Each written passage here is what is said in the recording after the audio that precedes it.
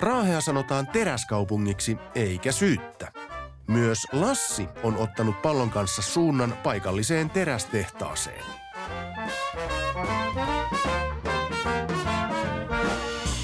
Nyt löytyy Raaesta niin massiivinen tehdas, että mä takuu varmasti saadaan täällä pelit pystyyn. Ja mä oon myös siitä aivan varma, että täältä löytyy joku, jolla myös pysyy pallo hallussa.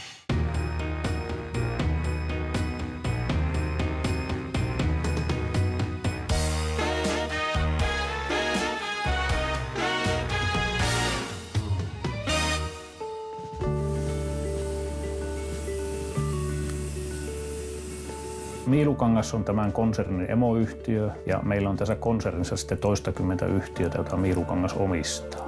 Miiluks on yksi niistä yhtiöistä.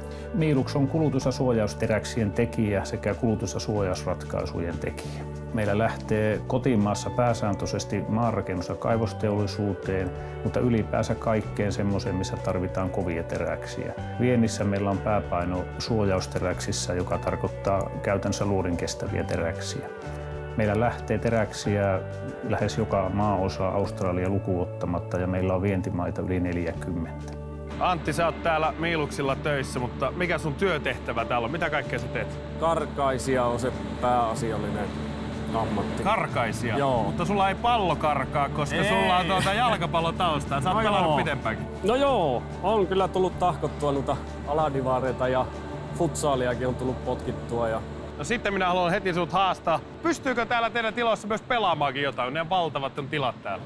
No tuota, tietenkin meillä olisi tuossa tuommoinen 50 tonni areena. Siellä voitais futiskössiä eli kuassia pelata. No niin, Antti vetää meille kössin seinäviivan, minkä yläpuolelle pallo pitää osua. Kaikkea sitä on tullut pelattua ja tehtyä, mutta tää menee kyllä ykköseksi. 50 000 kilon lavalla pelataan jalkapalloskuassa. Aika siisti. Yhdellä kosketuksella. Ja lähtee.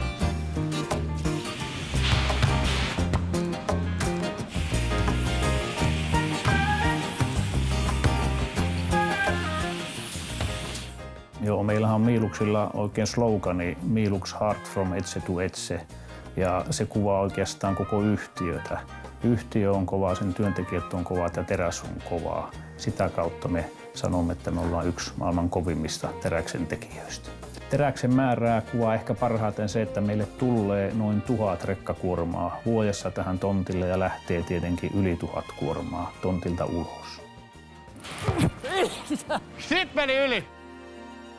Kutkuttavan jännittävään 5-4 tilanteeseen loppui tämä peli. Eliksirin Lassihan se voitti. Ehkä Antti hyvää hyvyyttään, ystävyyttä ja vieraanvaraisuutta antoi minun voittaa. Mutta nyt ennen kuin mä pääsen sut takas sorvin ääreen, niin tehdäänpä niin, että testataan, onko työntekijät yhtä kovaa terästä kuin heidän teräksensä. No niin, ja nousee! Hyvä Antti! Vielä, vielä, vielä, vielä, vielä, vielä, vielä, vielä. Ja siihen jätä. Hyvä, lähetäpä kahville. Se oli hienosti nostettu.